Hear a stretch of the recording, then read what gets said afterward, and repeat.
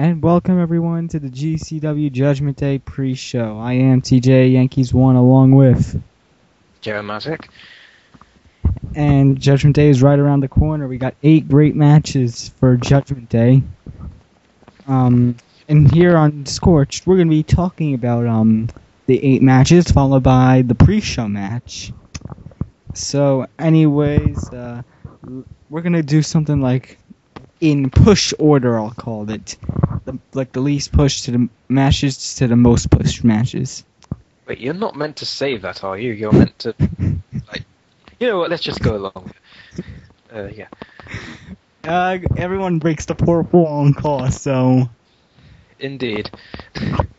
and plus these matches aren't gonna be in order as they'll appear on the card. That makes sense. How? It's not supposed to. Ah, right. Okay. Yeah, we've got that cleared up.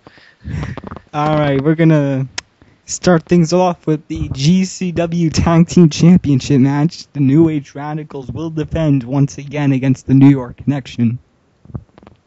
Indeedy. And if you haven't seen on the DIW Dungeon episode, sorry for the plug. Just have to, you, you know. No, this well, is important. Important. Say it. Yes, on the RW Dungeon episode 13, I think it was. Yeah.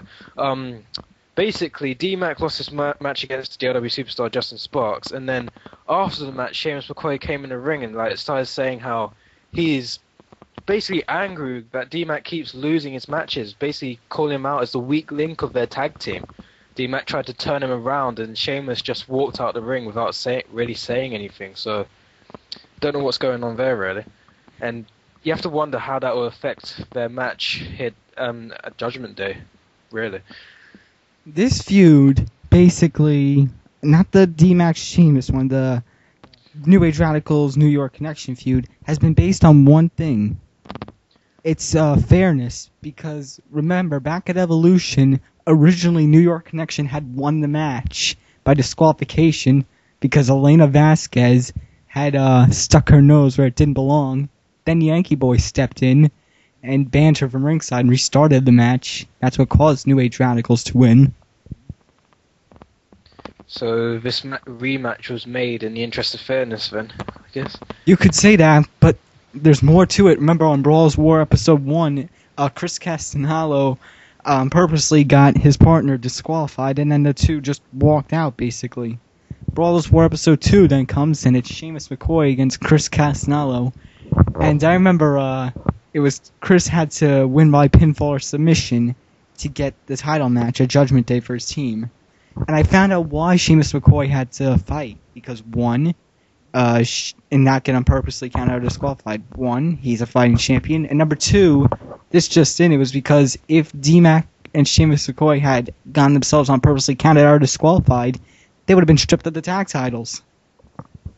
Of course, uh, that's a, a common procedure in core and wrestling in general, but quite frankly, I don't believe that New Age Radicals would want to get themselves disqualified or counted out. I mean, like you said, those two are fighting champions. They are the reigning GCW Tag Team Champions, and I believe they want to face the true competitors.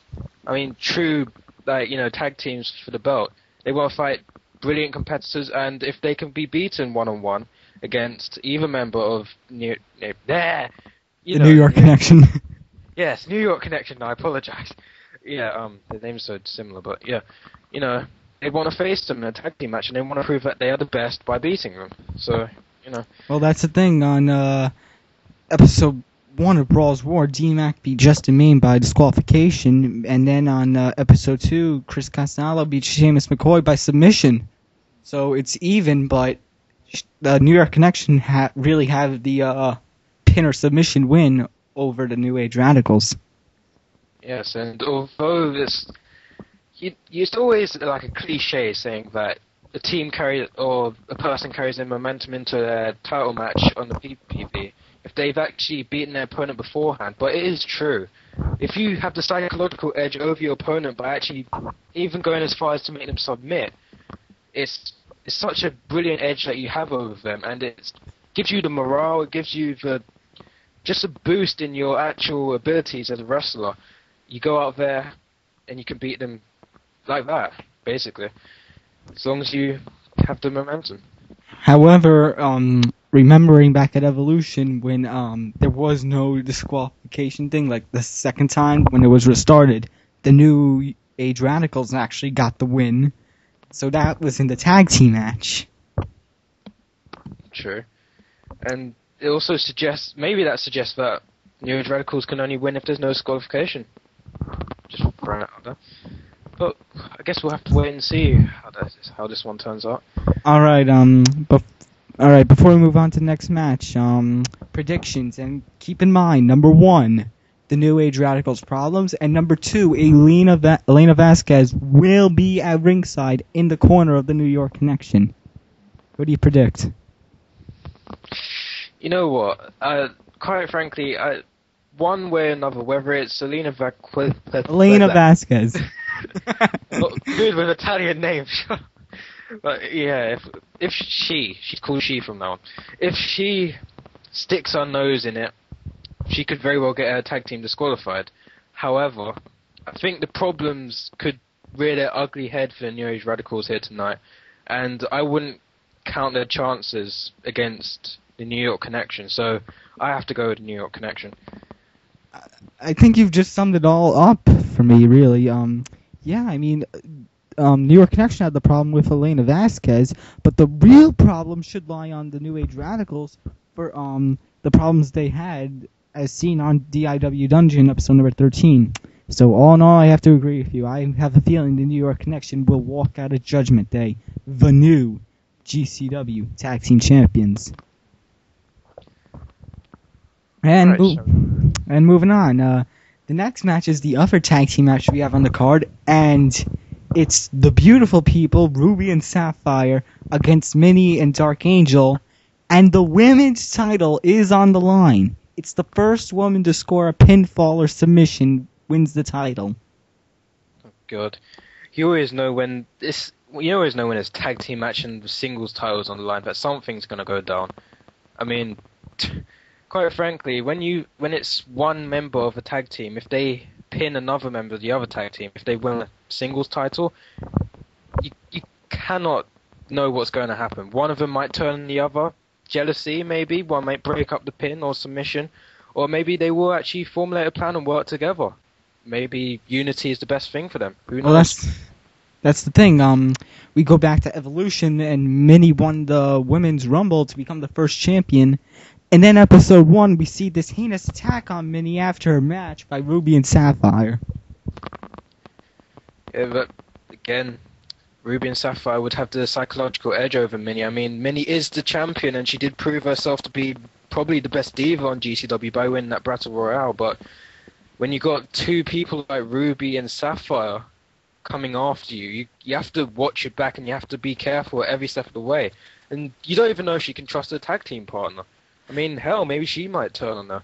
Well, that's the thing. On uh, episode number two, Sapphire actually beat Minnie in a non-title match, even though with a little help from Ruby. So they proved to be dominant. Then episode three comes, and Minnie and Dark Angel, uh, Minnie's tag team partner, ended up attacking the beautiful people and announced the match. And uh, actually, going back to what you said with the uh, Unity thing, it's been said apparently by the beautiful people in one of their interviews with Todd Grisham on episode two, I think. They don't care who's going to walk out. They just don't want Minnie to walk out as champion, and they just want one of them, Ruby or Sapphire, to walk out as champion. Yeah, But it's all very easy saying that in a backstage interview, but when That's it gets right down right. to it, in the heat of the moment, cat cat can, cats can fly. That makes no sense, but you know what I mean, okay? the cat is out of the bag. Yeah, that's it. God, uh, yeah, yeah. But the point is, you know, beautiful people can say whatever they want, but when it gets down to it, they they better keep one eye on, on their on their tag team partner because, quite frankly, I wouldn't be surprised if one of them turned on the other. Or the the X factor in this match could even be Dark Angel. I mean, w- you have to wonder why she would try and help Minnie. Because she actually has a sense of justice, a sense of right, which is quite weird in wrestling nowadays, or is it because she has some ulterior motive? Maybe she wants to get into the onto the title action. Who knows? All right, predictions. Predictions. Who do you think is gonna win? Uh, you know? I'm like I said. I'm I'm not entirely. Sh- I don't know what's going to happen. I really don't know whether the beautiful beautiful people are going to turn on each other or not. But my money would be on Minnie and Dark Angel to win this match and Minnie to walk out still your GCW Divas champion or women's champion, whatever the hell you guys call it. It's the women's title. It's the women's title. Divas is so much. You should have the butterfly belt. That'll be. Uh, um. Yeah. Um. Yeah. Uh, that's You- the, you go. you go talk to Yankee Boy about that. But um, I'm gonna have to maybe agree with you. I just hope I hope Minnie retains, or at least Dark Angel walks as champion. I don't want to see the Hey, beautiful people. else- So if if Dark Angel gets the pin, does she become champion? Yes, that's the thing. Oh, uh, Oh, that Dark changes Angel. everything, does it? Dark Angel's walking out champion. All right. I just feel that she interjected herself in this to, you know, but yeah. Let's just. Yeah. yeah, let's just move on. yeah. Let's just move on. Um, and now we're going to stop the recording right here because uh, now there's going to be a little promo for the next match we'll discuss about the international championship match between General Larry Platt and General Platt. And remember, this is also going to be for naming rights. Until then, Yes. yes, the, the whole confusion will stop. Until then, enjoy the promo.